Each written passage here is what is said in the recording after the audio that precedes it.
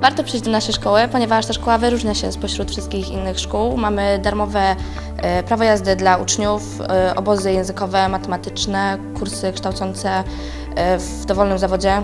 Mamy zakupiony nowy sprzęt, jest dużo komputerów, sale są wyremontowane i mamy boisko dosyć duże też jest wyremontowane. Ja wybrałam tą szkołę, tak można powiedzieć, w jakimś, w jakiejś części zupełnie przypadkiem, bo nie byłam tak do końca przekonana, czy chcę zostać informatykiem, ale przyszłam i okazało się, że jest bardzo fajnie, bo z roku na rok szkoła coraz to bardziej brała udział w coraz to większych projektach, coraz bardziej się rozbudowywała, były te sale remontowane, jakieś nowe sprzęty dokupywane. W trzeciej klasie jako technik informatyk na przykład mamy zapewnione praktyki, które odbywają się w Niemczech. No jest, jest super. Można się dużo nauczyć, jest dużo kolegów. Ogólnie zajęcia możemy podzielić na dwie sekcje, czyli e, teorię i praktykę. Na praktyce e, głównie projektujemy i mm, staramy się wymyślać nowe loga, e, slogany, również wszystkie inne projekty.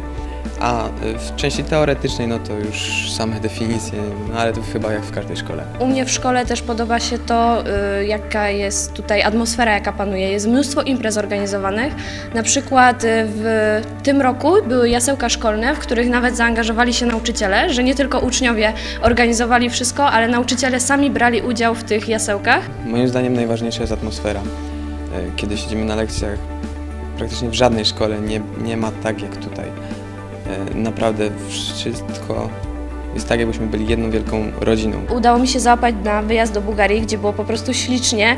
Mi się tak spodobało, jak jeszcze nigdy w życiu. Chyba niedawno też byli we Włoszech, a teraz na początku czerwca do nas przyjadą do Polski na tydzień z Włoch, Portugalii i z Bułgarii. W dalszym czasie będziemy mieć e, wiele też różnych e, miejsc pracy oraz ofert, które pozwolą nam na dalsze życie.